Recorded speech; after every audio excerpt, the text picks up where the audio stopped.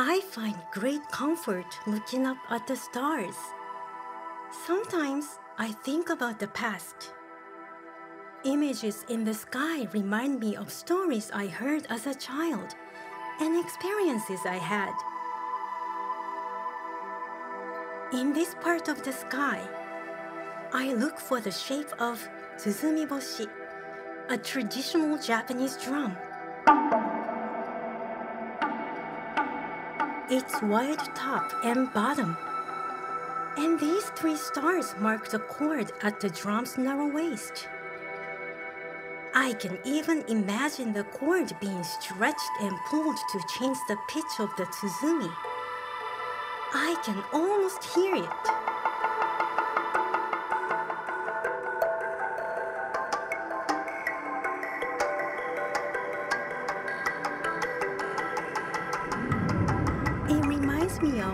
when I was a child and went to see a play that took place during the war between the Heike and the Genji nearly a thousand years ago. The drum was a symbol of the rivalry between two brothers, and sounds of the drum seemed both familiar and strange. The play also mentioned a great archer I knew from anime, the great marksman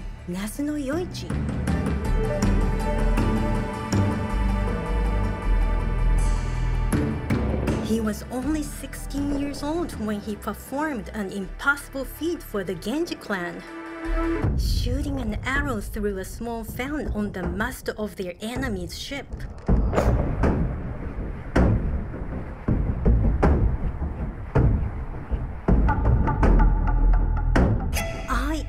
Imagined what it would be like to live in such a time.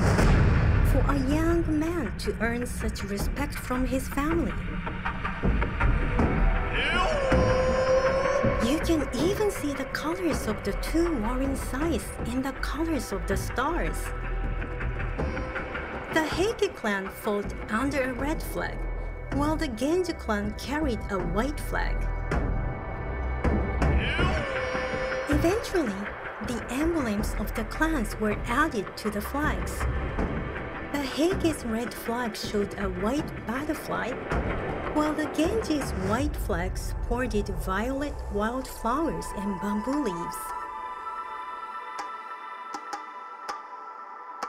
The Tsuzumiboshi has two especially bright stars, one red and one white. At the top of the drum, the bright star Heikeboshi, or Betelgeuse, is bright red, like the Heike flag. At the bottom of the drum, Genjiboshi, or Rigel, shines white, like the Genji flag.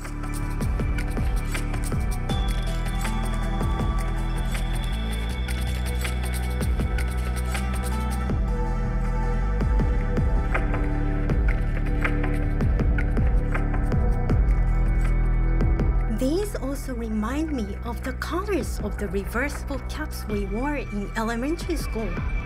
One side red, one side white, for when we would separate into teams. Once a year, we would also have undokai, or sports day at my school.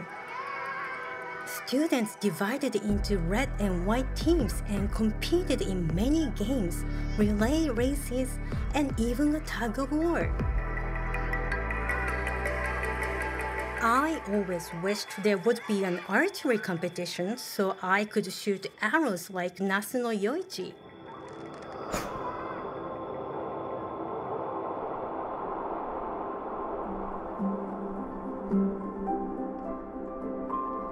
When life becomes busy or stressful, I sometimes find relief as I gaze at the night sky.